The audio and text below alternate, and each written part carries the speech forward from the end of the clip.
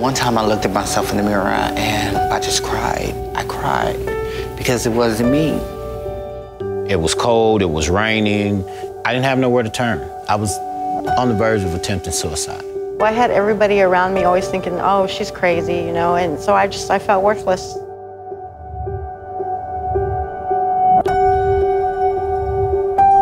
My name is Dusty Straight, and I'm currently a Bridge to Life graduate. When I came in through the doors, like so many people, I just didn't feel like I was worth anything. And then the people that are here are so loving and caring with the, the love of God that it pours out into everybody else. So God is is obviously moving in the city rescue mission. The the spirit of the Lord is, is touching the people that come through the doors. It's changing their lives.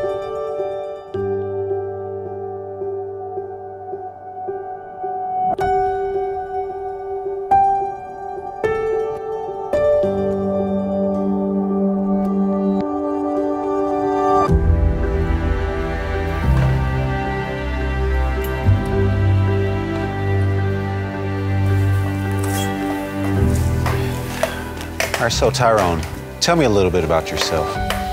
My father remarried, and there was a lot of physical abuse, and, and, and that's when uh, I started acting out, you know, um, get in trouble in school, and, uh, and got in the military, and, and, and that's when my drinking started. I was addicted to crack cocaine. I've been using for over 27 years. I have four kids.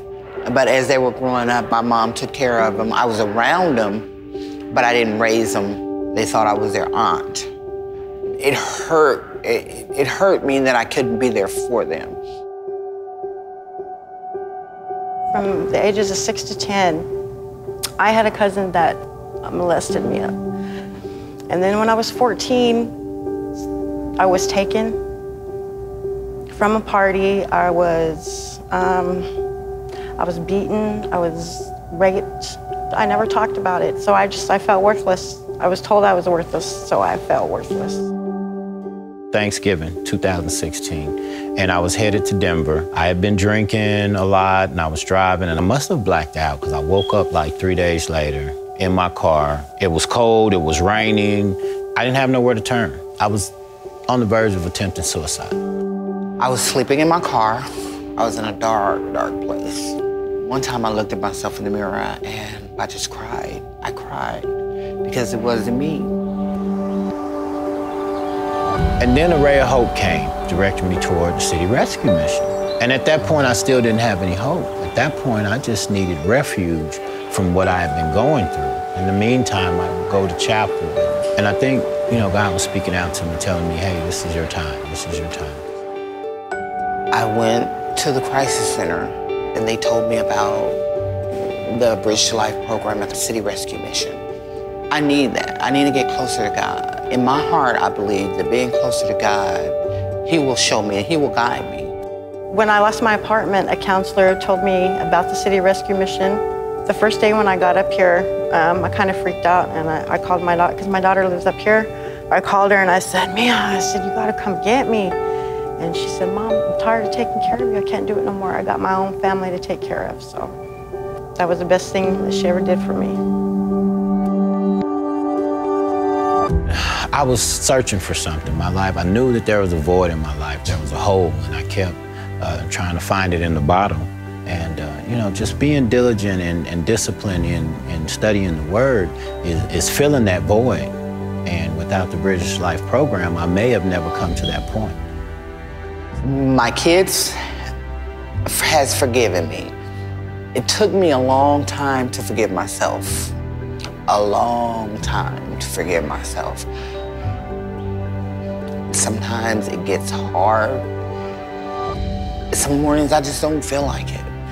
And I but I know that it's something that I have to do. Because I know in my heart that's what's gonna keep me clean and sober.